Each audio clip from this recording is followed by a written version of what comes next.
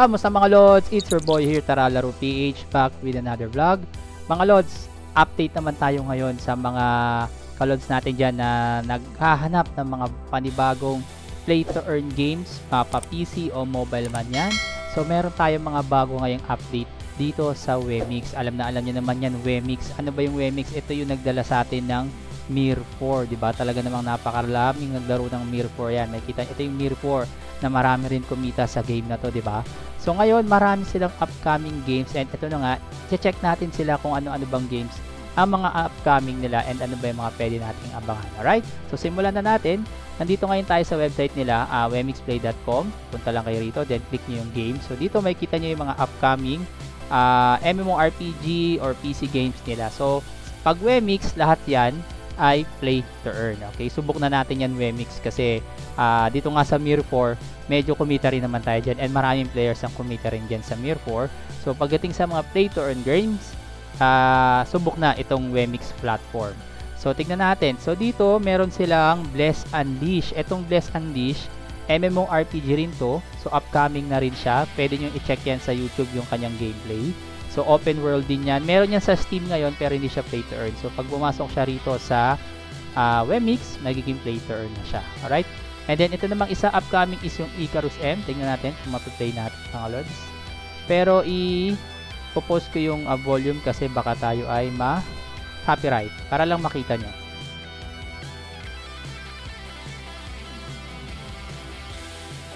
So ito, ang magkagandahan pa mga lods sa Wemix no, uh, hindi naman siguro lahat pero karamihan ng kanilang mga play to earn games ay cross platform. So meaning pwede siya sa cellphone, pwede rin siya sa PC. Okay? So ito yung Icarus M. So mukha talaga siyang pang mobile. I think autoplay din to. Okay, pasensya na kung in-off ko yung volume ng uh, video kasi baka ma-copyright issues tayo. At least makita nyo. Alright? So yan yung Icarus M. Upcoming din yan. And then next naman syempre Mir uh, 2.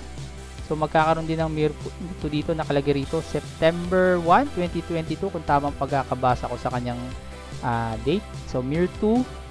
Okay, so ito siya pag nakita, na makita nyo.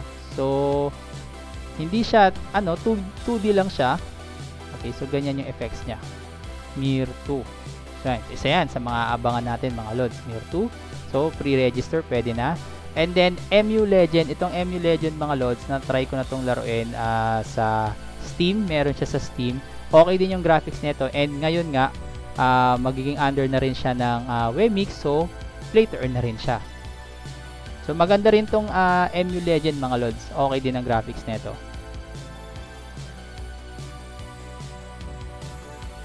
Okay. So, pakita ko lang sa inyo yung content game niya.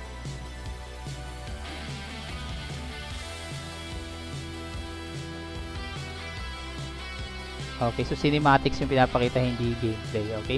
But, you can check it na lang sa YouTube kung ano yung gameplay ng MU Legend. Panalo din yan. So, upcoming yan, play to earn din yan, alright? So, ito yung pinaka inaabangan ko rin is yung Mir M, uh, Vanguard and Vagabond. Kasi, ito yung sequel sa nilaro natin at minahal natin ng Mir 4. So, ito na yung magkakaroon na siya ng global release under ng Remix. So, panoodin natin mga lods.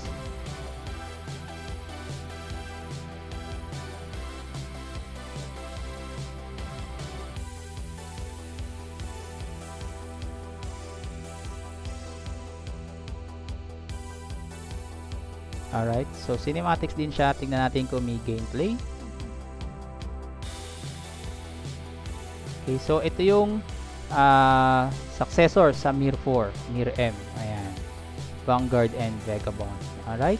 So nakita ko na siya, meron naman na siya mga gameplay kasi sa Korea, uh, release na siya. So nalalaro na siya sa Korean server. So unfortunately, hindi naman tayo basta makakonect doon. So buti na lang, dinala na siya ng Wemix dito. So Mir M, kaabang-abang yan. And then lastly is itong uh, Kingdom Hunter. So base date is September 14. Malapit-lapit na rin to mga lods. Okay. So ito, marami-rami tayong aabangan na play to earn, tayo na lang mamimili kung ano ang trip nating laruin.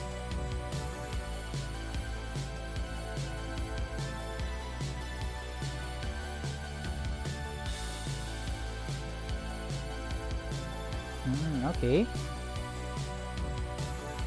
Parang card base. Yan, strategy trading card game nga siya. Okay? So, yan.